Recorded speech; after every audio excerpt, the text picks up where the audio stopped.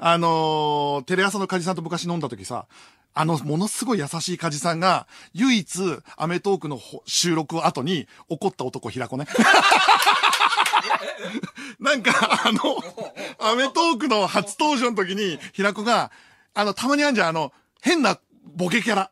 あの、ちょっと、斜めに行くキャラをずっとやって、あの、普通のトークしなかったらしいのよ。それで、あの、全部終わった後に、梶さんが、あの、なんつったらいいの？あの、もう、この鼻と鼻が近づくぐらいの距離で、あ、そういうのいらないから、つったんだって。